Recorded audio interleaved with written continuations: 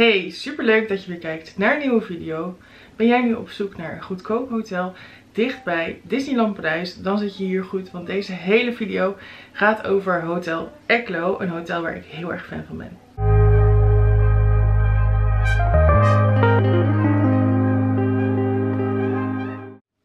Als je mijn vlogs al eens eerder hebt gezien, dan heb je het hotel waarschijnlijk al eens voorbij zien komen. Hotel Eklo in Marne-la-Vallée is een van mijn favoriete hotels. Sinds ik jaarpashouder ben, ben ik op zoek gegaan naar hotels in de buurt die goedkoper zijn dan Disney hotels. Want die zijn redelijk aan de prijs, als het zo even mogen zeggen. Ehm, en wat toch ook wel een beetje voldoet aan wat ik zelf fijn vind. Uh, dat is sowieso een goed bed. Maar toch ook dat de omgeving en de kamer mooi is. Dat je een goed ontbijt hebt. Dat je ook flexibel kunt annuleren. Dat zijn een aantal dingetjes die ik zelf super belangrijk vind als het gaat om het boeken van een hotel.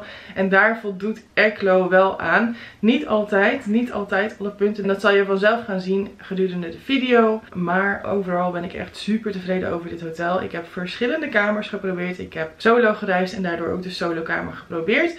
Ik heb, uh, ben al vaker met z'n tweeën ben ik in een, uh, in een standaardkamer geweest met een tweepersoonsbed. We zijn zelfs met ons hele gezin geweest met vijf in een hele toffe kamer met allemaal uh, stapelbedjes, een soort hostel idee. Maar al met al altijd super positieve ervaringen. Dus ik vind dit hotel zeker een aanrader als het gaat om de mogelijkheden die ze hebben. Dus je kan er alleen naartoe gaan, maar je kan er ook met je gezin naartoe gaan. De prijs is super goed, kwaliteit is super goed, de bedden slapen echt fantastisch. Dus ja, alle lof voor Eklo als het, uh, als het aan mij ligt. Het is in ieder geval echt een grote tip voor jou. En ik ga je nu meenemen in mijn ervaringen. Dus uh, in de solokamer waar ik in mijn eentje heb geslapen en wat prima is bevallen. Maar ook in de standaardkamer met een tweepersoonsbed. En als laatste in de uh, zespersoonskamer waar wij met ons hele gezin hebben geslapen. Wat echt super goed bevallen is. Ik neem je ook mee naar het ontbijt wat ik nu drie keer heb mogen ervaren. En waar ik verschillende meningen over heb. Uh, dus ik laat alles zien. De omgeving, hoe lang het precies duurt voordat je er bent. En ik hoop dat je een compleet beeld krijgt van het hotel. Mocht je nog vragen hebben, let me know. En uh, veel kijkplezier. Ik ben nu bij Hotel Eklo.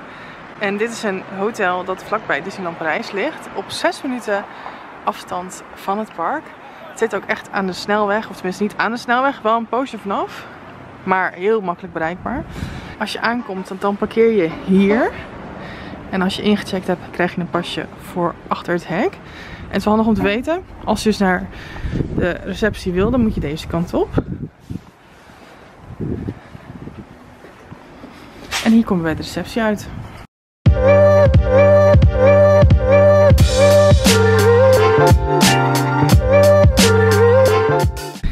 Heb inmiddels ingecheckt, dus ik ga nou mijn auto op de parkeerplaats zetten daar.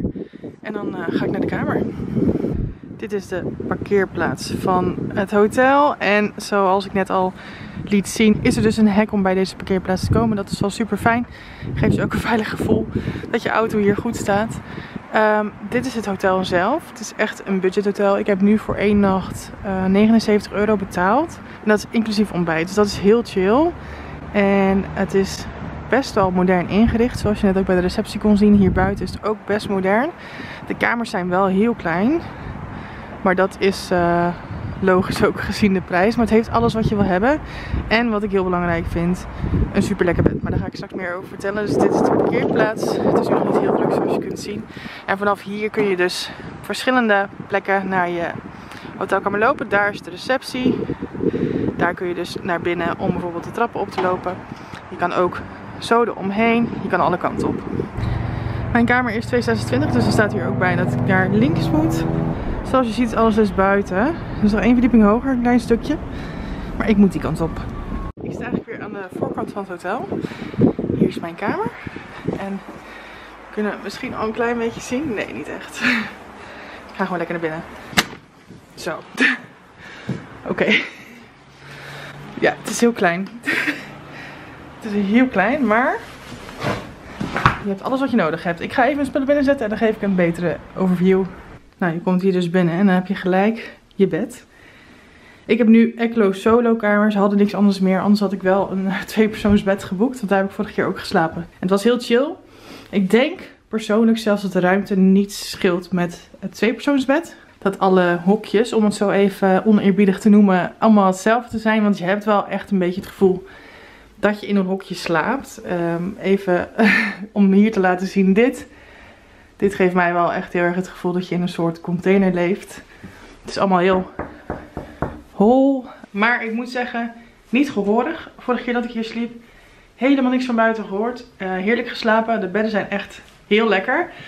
Het matras ligt echt tien keer beter dan uh, Hotel Santa Fe bijvoorbeeld van Disney zelf. Dus dat is wel echt een, uh, een pluspunt. Ja, het is gewoon alleen wel heel erg budget. En dat, dat merk je aan alles. Je hebt niet meer dan je eigenlijk nodig hebt. En dat is op zich prima. Maar het is wel budget op een hele...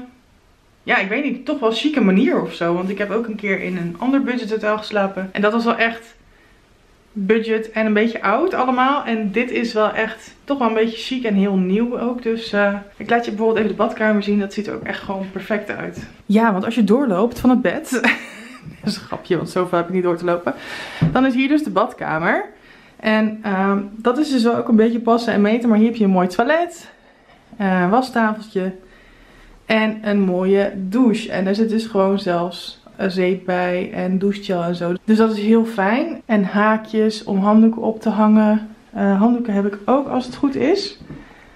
Alleen weet ik nog niet precies waar. ik weet niet waar mijn handdoeken zijn. Tot nu toe kon ik alleen die vinden. Uh, dus ik hoop dat die nog komen, anders moet ik even bellen.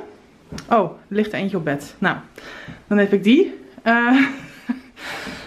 Het is, zoals ik al zei, wel mooi gewoon. Dus hier, ik vind het best wel chic. Zwart stopcontact, uh, daar ook zwart wc-rolhouder, zwarte playborstel.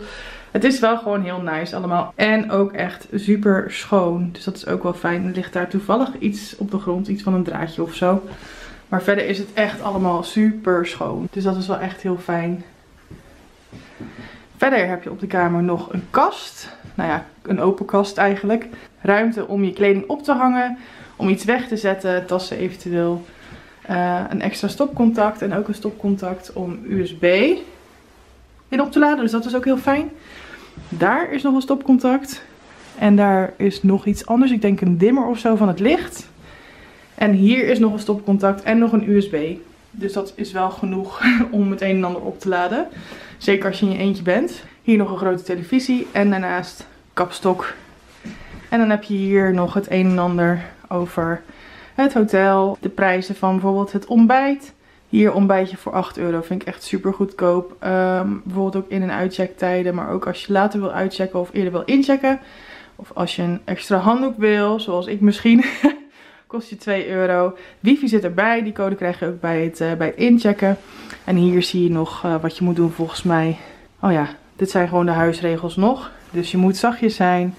Ladila. Nou, Oké, dit is goed dat ik dat even lees.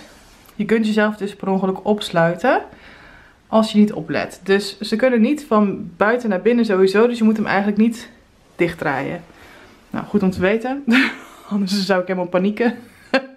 nou, staat hier nog gewoon een telefoonnummer bij of zo. Denk ik dan maar. En anders kan ik het op internet wel vinden. Maar goed, dit is uh, de kamer. Het is een leuk kamertje. Het is helemaal perfect voor je reisje naar Disneyland. En uh, zeker als je dus een beetje budget wil slapen. Ik heb dus een Eclo solo kamer nu. Dus een eenpersoonsbed. Maar je hebt deze kamers dus ook gewoon met twee persoonsbedden. En ook een zespersoonskamer mocht je dat willen.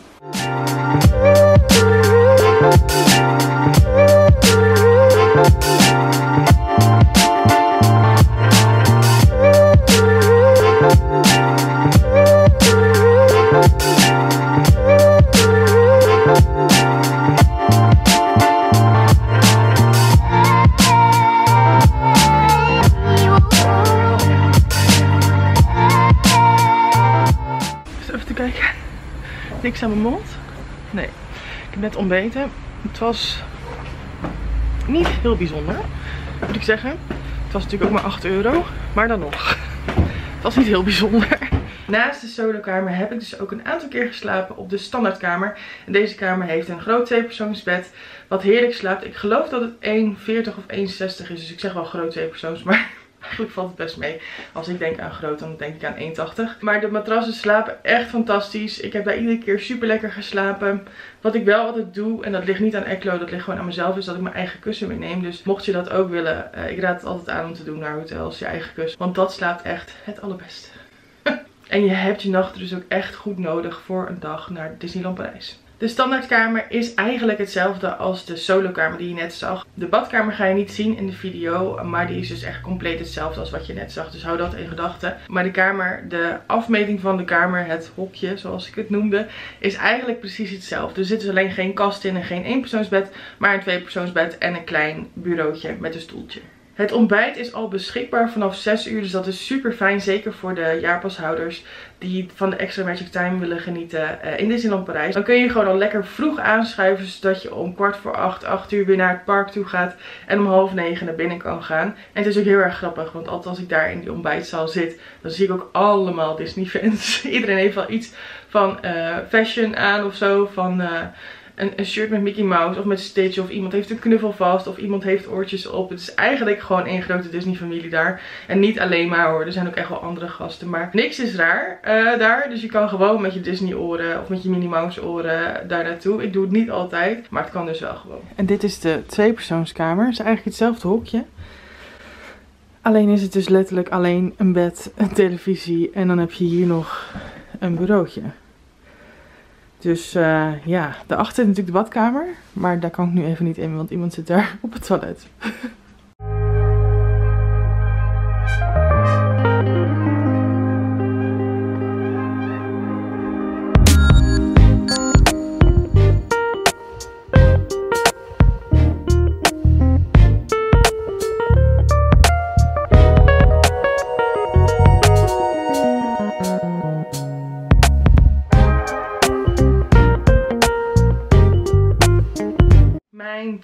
Ervaring met het ontbijt was een stuk positiever dan de eerste keer. De eerste keer was het stokbrood echt niet te eten. De koffie vond ik echt niet lekker. Uh, maar het croissantje was wel gewoon, gewoon lekker. Dus ik had zoiets van, nou, vind ik niet per se een aanrader. Maar omdat we toen ook niet echt een alternatief hadden voor ontbijt, dachten we, nou laten we het toch maar weer bijboeken. En de tweede keer beviel echt veel beter. Het leek allemaal een stuk verser. Uh, je had nu ook een hartige sectie, zeg maar. Dus dat je ook kaas en vlees kon kiezen. Um, in plaats van alleen zoet, want dat had ik de eerste keer. Het leek iets uitgebreider allemaal. Het leek allemaal iets verser. En de koffie was ook lekkerder. Dus ik denk dat ik gewoon een beetje pech had die ene ochtend. Uh, en dat de tweede ochtend meer representatief is voor wat je krijgt bij Eklo qua ontbijt. Dus ik zou, als ik er nu over nadenk, zou ik de volgende keer, en ik ga toevallig volgende week weer, um, ga ik wel weer gewoon het ontbijt mee, uh, mee boeken. Omdat het wel weer is bevallen die tweede keer.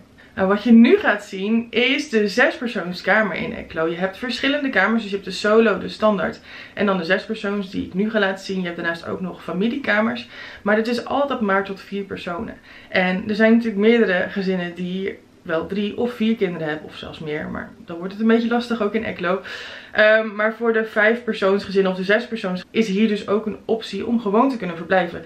En dat is super fijn, want ik moet dus met mijn gezin als ik naar een Disney hotel ga, uh, al twee kamers boeken. En dat loopt heel erg op in de prijs.